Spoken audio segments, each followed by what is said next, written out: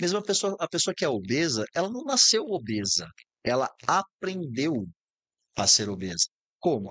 Principalmente através da família, através dos hábitos, dos costumes, da forma como se relaciona com a comida, como pensa a respeito de comida, os sentimentos que ela tem a respeito de comida. Então, se você pegar pessoas assim, ó, pega uma pessoa que está acima do peso, obesa, junta elas e fala assim, viu, vamos marcar um evento social, né? Cara, vamos bater um papo, preciso, vamos conversar. Adivinha em torno do que roda esse evento social? Comida. Eles vão fazer um churrasco, vão fazer um almoço, vão num restaurante. A, é, é, a forma de agir, de se comportar, de falar, de pensar é diferente. Agora, ele não vai pegar e falar assim, agora é uma pessoa que é fitness, ela vai se falar com a outra. Ela vai fazer um programa social, ou preciso conversar com você. Bom, beleza, vamos dar uma volta, vamos, vamos correr em volta da lagoa, enquanto a gente co- corre, a gente conversa. Tá? Então, o comportamento, a forma de pensar vem antes do nosso comportamento.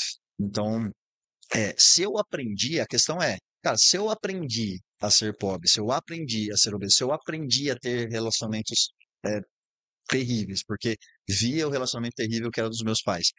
A vantagem da, da plasticidade neural é que eu posso reaprender. Então eu não estou fadado a viver a vida que eu sempre vivi. Eu posso reaprender através do quê? Conteúdo, ambiente, repetição.